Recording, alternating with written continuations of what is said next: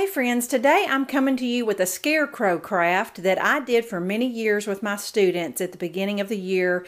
You know, September was always our open house month and we always decorated our room. These scarecrow heads were part of our decorations and it was made with a coat hanger.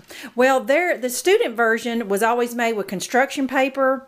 Well, I decided I wanted to put a little twist on this and see if I can make it with cloth instead of paper and just see how that turns out. I have no idea if it'll turn out or not, but we'll see. And if you're seeing this video, then obviously it did. But I wanted to go ahead and do the video because four dollars of the supplies came from the Dollar Tree, and I'm afraid that you may not be able to find these hats for very much longer. Now, my Dollar Tree had two different kinds of hats.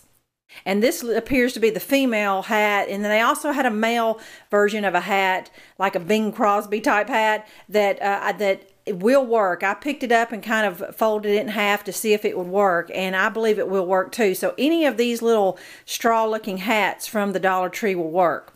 Now I also picked up um, a pair, a pack of pantyhose. Now when I did it with my students, I usually used knee highs. Now just whatever you you know, and you didn't even have to be pantyhose. It can be a piece of burlap or a piece of brown fabric or, or whatever you want to do to cover the coat hanger, but the pantyhose seems to work the best.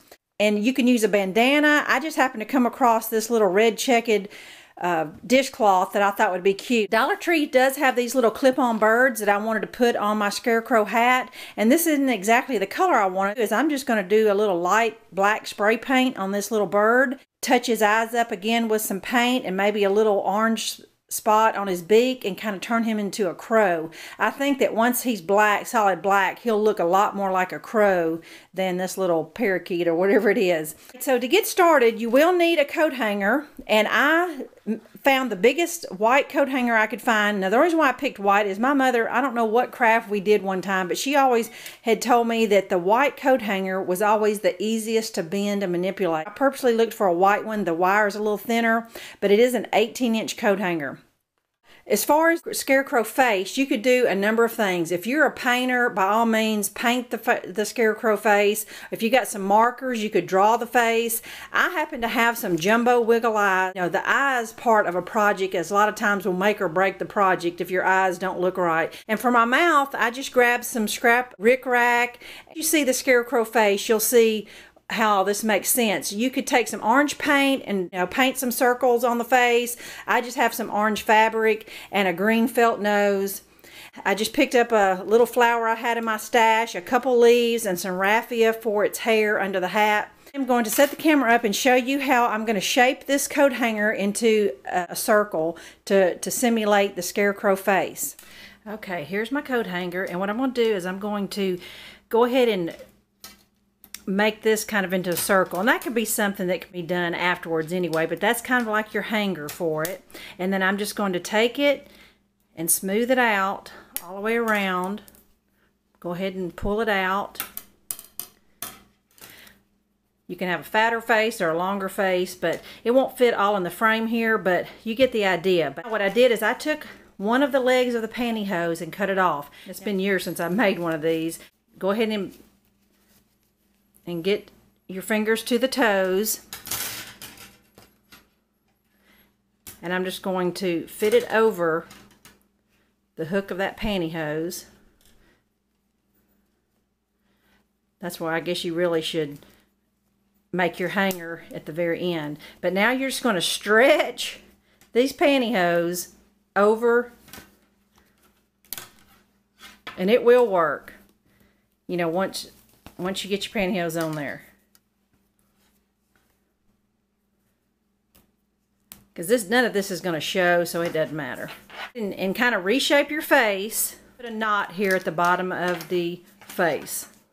And that's going to be covered up. And you can cut off the extra so now what we're going to do is we're going to get our hat ready. Now, I will tell you this, that probably to make that little hook, do that after you put your pantyhose on there, because that's the reason why I had this little extra toe part left is because I didn't start my pantyhose in the center of the toes. You see, but it's not going to show, and it'll the hat will hide it. Now, what I'm going to do is I'm going to fold this hat completely in half.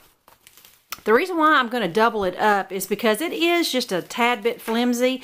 I'm thinking you probably could get two hats out of this, but by me doubling it up, and then I'm going to hot glue this bill all the way around, and that way it just makes the hat thicker and I think it will look better. I'm just going to put hot glue all around this bill and thicken it up just so you know that's what I did to the hat. Just want to show you that I just make sure, and I didn't even fold it over perfectly, just make sure that your uh, your hot glue is all the way to the end so that it, you know, you, but there you go. Hot glue this little pumpkin ribbon on the hat. Now you could certainly keep whatever ribbon is on your hat. Now let me show you my bird here he worked out fine. I think he definitely looks like a crow. He's still just a little wet. I just put just a little spray of black spray paint and show you how lazy I am. I didn't have any white paint down here, so I just put one dot of white out on each eye and a touch of orange paint on his beak. And there you go. There's me a crow to go on his hat. And then I'm to let my bird dry just a little bit you know, he's got a little clip on him. I'm going to clip him somewhere on the hat when I get done, so I can do that very last. Now, to attach my hat, I'll put my first spot of glue the top of the hat. And at least get it connected up there. And then here on the sides, you probably could put just, it won't take much because this is very lightweight. If you flip your coat hanger over, you can kind of see where your coat hanger is touching your hat. So that's where you would probably want to put another spot of glue. Kind of like working with burlap. I mean, that, that hot glue will go through that hat for sure. So be very careful. But I do got my coat hanger hot glued in three places. Now, as far as it giving him some hair, him or her, gather up some of this raffia. And this stuff sometimes is hard to work with. I'm going to gather up two strands of raffia and I'm going to tie it on one end and that way I only have to hot glue just the little knot in place. Just secure it some way, that stuff. Cut the little loops loose and that'll give me like a little tassel. All right, oh, and show you that that's where I hot glued my little knots of the raffia. And you can add more or less. I probably will add a little more when I get done, but that's all I brought down here. Now, what I wanted to show you, the little bandana thing. What I did is I just held it corner to corner, diagonal, and then I'm just going to flip it once, and then I'm going to just try to tie a little knot, hot glue it on his neck, and it'll make sense when you when you see it. All right, friends, here you go. This is my coat hanger scarecrow. Now that it's finished, you can see how that you could you probably use any kind of fabric to cover the coat hanger because the back's not going to show.